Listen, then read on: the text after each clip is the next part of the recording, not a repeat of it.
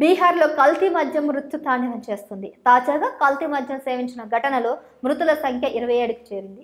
మంగళవారం రాత్రి బీహార్లోని సివాన్ సాలం జిల్లాలకు చెందిన పలువురు కల్తీ మద్యం తాగి అనారోగ్యానికి గురయ్యారు. వారి పరిస్థితి విషమంగా మారడంతో ఆసుపత్రులకు తరలించి చికిత్స అందించారు. బుధవారం నాటికి మృతుల సంఖ్య ఆరు ఉండగా గురువారం ఆ సంఖ్య ఇరవై ఏడుకు చేరింది. పలువురు బాధితులు ఆసుపత్రిలో చికిత్స పొందుతున్నారు. ఈ ఘటనలో మరికొందరి పరిస్థితి విషమంగా ఉన్నట్లు సమాచారం. బీహార్ కల్తీ మద్యం ఘటన రాష్ట్ర రాజకీయాల్లో ప్రకంపనలు సృష్టిస్తోంది. ఈ ఘటనపై దర్యాప్తు చేసేందుకు ప్రత్యేక పోలీసు బృందాన్ని ఏర్పాటు చేశారు. కల్తీ మద్యం మృతుల ఘటనలో ఇప్పటి వరకు ముగ్గురిని అరెస్ట్ చేశారు. మరో ఎనిమిది మందిపై ఎఫ్ఐఆర్ నమోదు చేశారు. భగవాన్పూర్ ఎస్హెచ్ఓతో పాటు ఏఎస్ఐపై చట్టచర్యమైనటువంటి చర్యలు తీసుకోవాలని పోలీసులు ఉన్నతాధికారులు తెలిపారు. బీహార్లో కల్తీ మద్యంతో ప్రజలు ప్రాణాలు కోల్పోయిన ఘటనలు తరచుగా జరుగుతున్నాయి.